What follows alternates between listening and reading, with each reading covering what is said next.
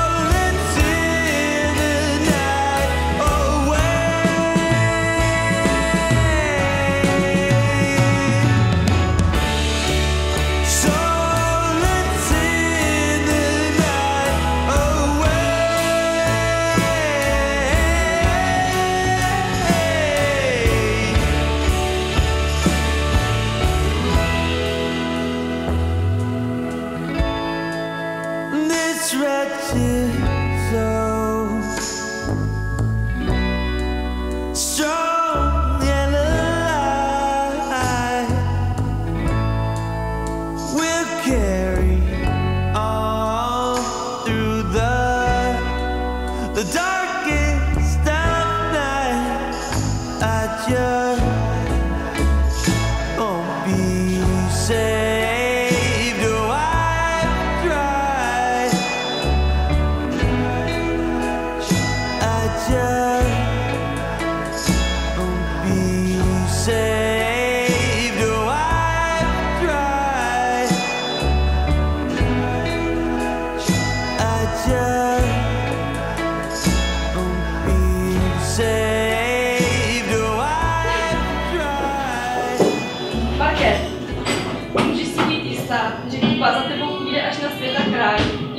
zajde přes půl země.